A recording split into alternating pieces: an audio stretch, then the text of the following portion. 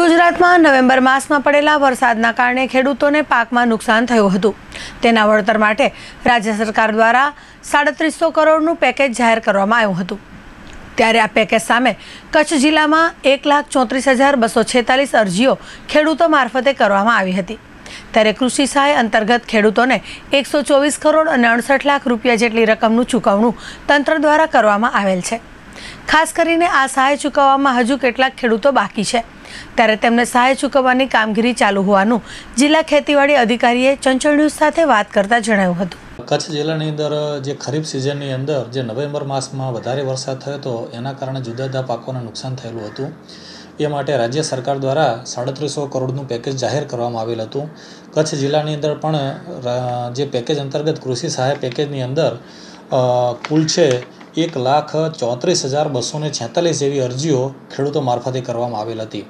આ તમામ તમામ અરજીઓની પ્રોસેસ કરી અને એના ચૂકવણા માટે ખેતીવાડી શાખા દ્વારા ટ્રેઝરી ઓફિસમાં બધી તમામે તમામ સો સો ટકા અરજીઓ આપણે મોકલી આપવામાં આવેલી છે. અને એ અરજીઓ અંતર્ગત કુલ એક લાખ ચોત્રીસ હજાર નવસો છત્રીસ અરજીઓનું આપણે પેમેન્ટ આપણે કરેલું છે અને પેમેન્ટ અંતર્ગત કુલ આપણે એકસો ને ચોવીસ કરોડ અને અડસઠ લાખ જેટલી રકમનું આપણે ખેડૂતોને એમના એકાઉન્ટની અંદર સીધે સીધું આપણે પેમેન્ટ કરેલું છે.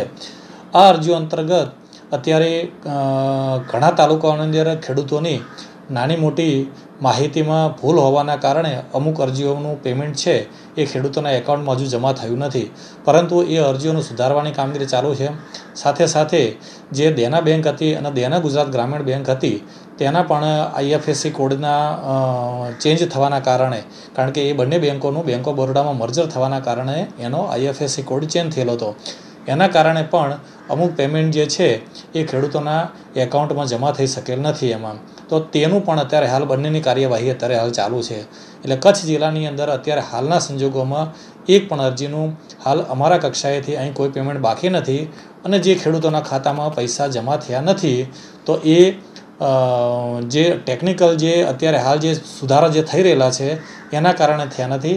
પરંતુ અત્રેથી કોઈ અરજીઓ રદ કરવાની કોઈ કાર્યવાહી અત્યારે કંઈ આપણે બાકી નથી અથવા તો પેમેન્ટ કરવાનું કોઈ બાકી નથી. કામગીરી સો ટકા આપણે પૂર્ણ કરેલી છે